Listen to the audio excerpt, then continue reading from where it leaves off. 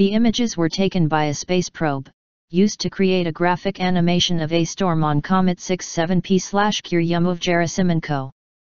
In social networks, a video posted on Twitter on April 23 gained popularity by showing a sequence of images of the phenomenon similar to a blizzard on Comet 67P-Churyumov-Gerasimenko, discovered in 1969. In this graphic animation, created by the user at landru79 and disclosed in Reddit, there are several elements, from stars to space octopus, routine seen in this celestial body.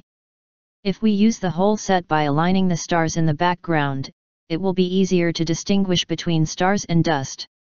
New Comet Album 67P-Churyumov Gerasimenko, whose original photos were taken by the OSIRIS camera on June 1, 2016.